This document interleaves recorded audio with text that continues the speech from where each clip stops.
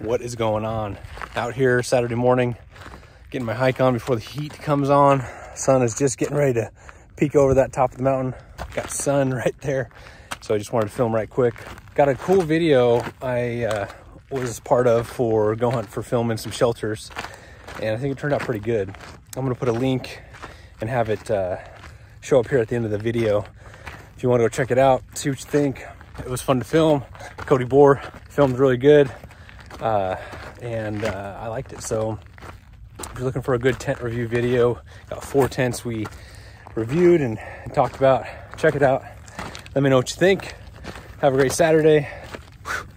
Back in the sun.